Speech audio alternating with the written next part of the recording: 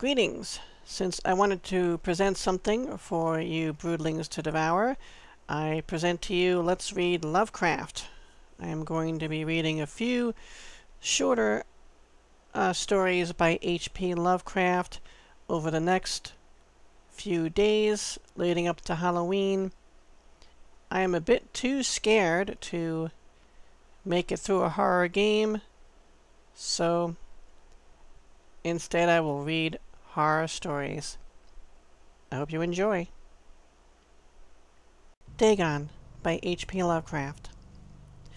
I am writing this under an appreciable mental strain, since by tonight I shall be no more. Penniless, and at the end of my supply of the drug which alone makes life endurable, I can bear the torture no longer, and shall cast myself from this garret window into the squalid street below. Do not think from my slavery to morphine that I am a weakling or a degenerate.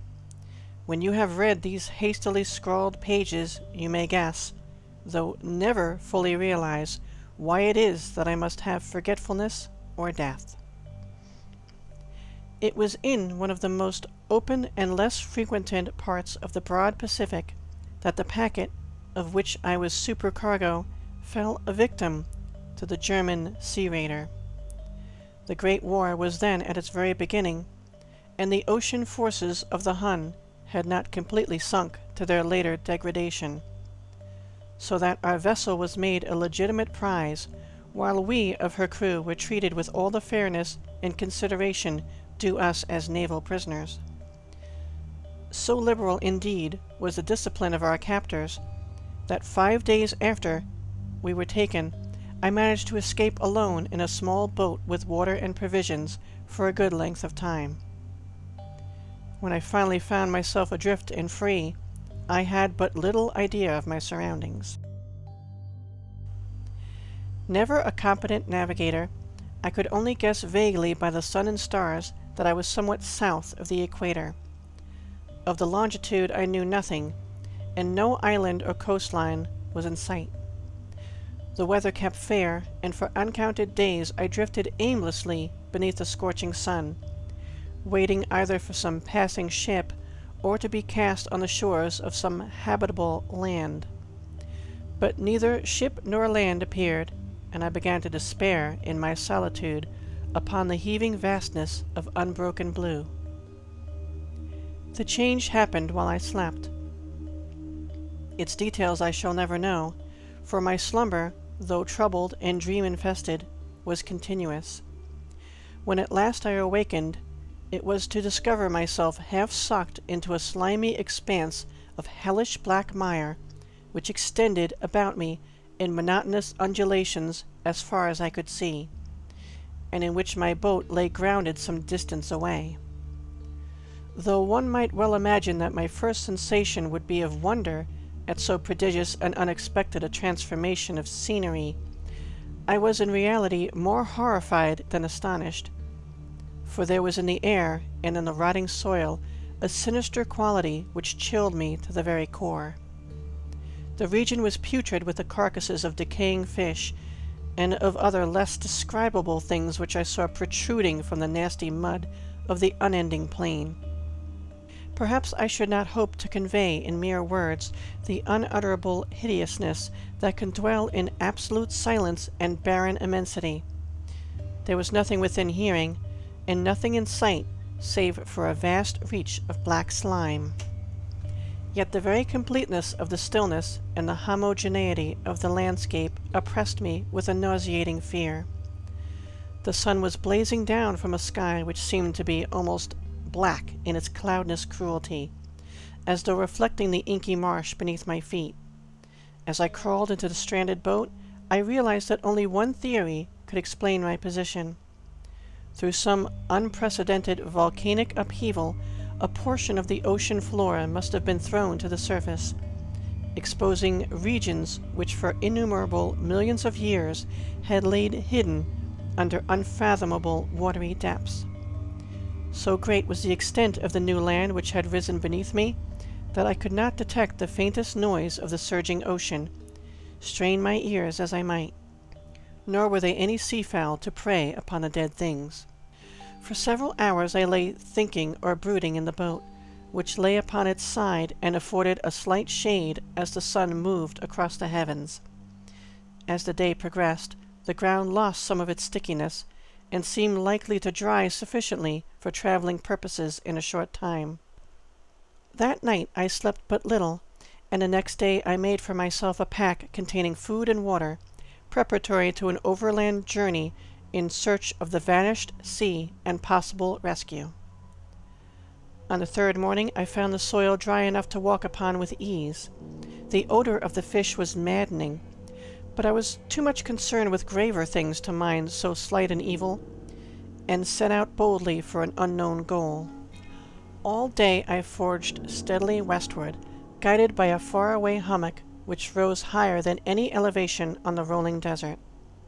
That night I encamped, and on the following day still traveled toward the hummock, though that object seemed scarcely nearer than when I had first espied it. By the fourth evening I attained the base of the mound, which turned out to be much higher than it appeared from a distance, an intervening valley setting it out in sharper relief from the general surface. Too weary to ascend, I slept in the shadow of the hill. I know not why my dreams were so wild that night, but ere the waning and fantastically gibbous moon had risen far above the eastern plain, I was awake in cold perspiration, determined to sleep no more. Such visions as I had experienced were too much for me to endure again, and in the glow of the moon I saw how unwise I had been to travel by day. Without the glare of the parching sun, my journey would have cost me less energy. Indeed, I now felt quite able to perform the ascent which had deterred me at sunset. Picking up my pack, I started for the crest of the eminence. I have said that the unbroken monotony of the rolling plain was a source of vague horror to me, but I think my horror was greater when I gained the summit of the mound and looked down the other side into an immeasurable pit or canyon, whose black recesses the moon had not yet soared high enough to illumine. I felt myself on the edge of the world, peering over the rim into a fathomless chaos of eternal night. Through my terror ran curious reminiscences of Paradise Lost and Satan's hideous climb through the unfashioned realms of darkness. As the moon climbed higher in the sky, I began to see that the slopes of the valley were not quite so perpendicular as I had imagined. Ledges and outcroppings of rock afforded fairly easy footholds for a descent, whilst after a drop of a few hundred feet, the declivity became very gradual. Urged on by an impulse which I cannot definitively analyze, I scrambled with difficulty down the rocks and stood on the gentler slope beneath, gazing into the Stygian deeps where no light had yet penetrated. All at once my attention was captured by a vast and singular object on the opposite slope, which rose steeply about a hundred yards ahead of me, an object that gleamed whitely in the newly bestowed rays of the ascending moon. That it was merely a gigantic piece of stone I soon assured myself, but I was conscious of a distinct impression that its contour and position were not altogether the work of nature. A closer scrutiny filled me with sensations I cannot express, for despite its enormous magnitude and its position in an abyss which had yawned at the bottom of the sea since the world was young, I perceived beyond a doubt that the strange object was a well-shaped monolith whose massive bulk had known the workmanship and perhaps the worship of living and thinking creatures. Dazed and frightened, yet not without a certain thrill of the scientist's or archaeologist's delight, I examined my surroundings more closely. The moon, now near the zenith, shone weirdly and vividly above the towering steeps that hemmed in the chasm, and revealed the fact that a far-flung body of water flowed at the bottom, winding out of sight in both directions and almost lapping my feet as I stood on the slope. Across the chasm, the wavelets washed the base of the Cyclopean monolith, on whose surface I could now trace both inscriptions and crude sculptures. The writing was in a series of hieroglyphs unknown to me, and unlike anything I had ever seen in books, consisting for the most part of conventionalized aquatic symbols such as fishes, eels, octopi, crustaceans, mollusks, whales, and the like. Several characters obviously represented marine things which are unknown to the modern world, but whose decomposing forms I had observed on the ocean-risen plain. It was the pictorial carving, however, that did most to hold me spellbound. Plainly visible across the intervening water, on account of their enormous size, was an array of bas-reliefs whose subjects would have excited the envy of a Dore. I think that these things were supposed to depict men, at least a certain sort of men, though the creatures were shown disporting like fishes in the waters of some marine grotto, or paying homage at some monolithic shrine which appeared to be under the waves as well. Of their faces and forms I dare not speak in detail, for the mere resemblance makes me grow faint. Grotesque beyond the imagination of a Poe or a Bulwer, they were damnably human in general outline despite webbed hands and feet, shockingly wide and flabby lips, glassy, bulging eyes, and other features less pleasant to recall. Curiously enough, they seem to have been chiseled badly out of proportion with their scenic background, for one of the creatures was shown in the act of killing a whale represented as but little larger than himself.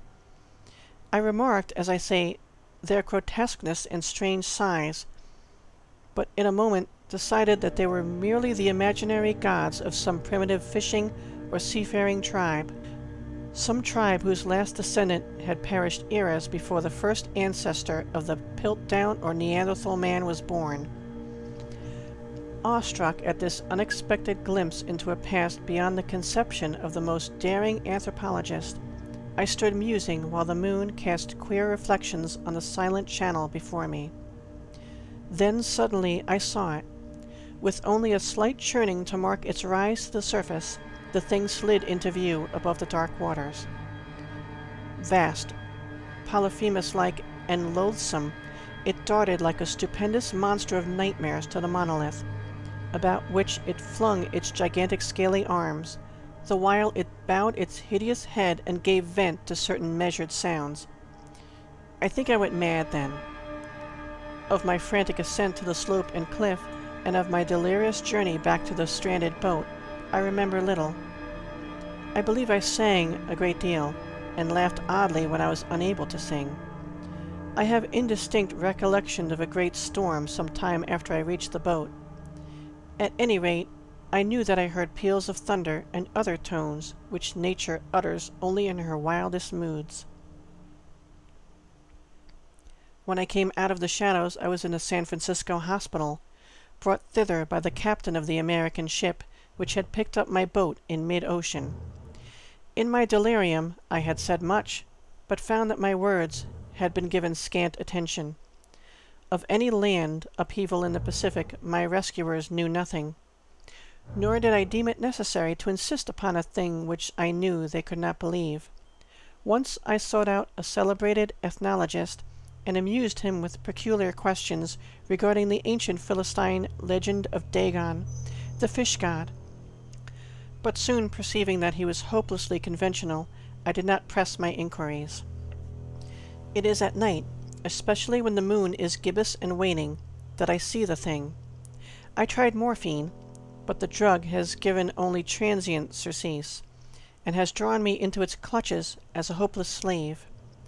So now I am to end it all, having written a full account for the information or the contemptuous amusement of my fellow men. Often I ask myself if it could not all have been a pure phantasm, a mere freak of fever as I lay sun-stricken and raving in the open boat after I escaped from the German man-of-war. This I ask myself, but ever does there come before me a hideously vivid vision in reply. I cannot think of the deep sea without shuddering at the nameless things that may at this very moment be crawling and floundering on its slimy bed worshipping their ancient stone idols, and carving their own detestable likenesses on submarine obelisks of water-soaked granite. I dream of a day when they may rise above the billows to drag down, in their reeking talons, the remnants of puny, war-exhausted mankind, of a day when the land shall sink and a dark ocean floor shall ascend amidst universal pandemonium. The end is near. I hear a noise at the door, as of some immense slippery body lumbering against it. It shall not find me. God, that hand! The window! The window!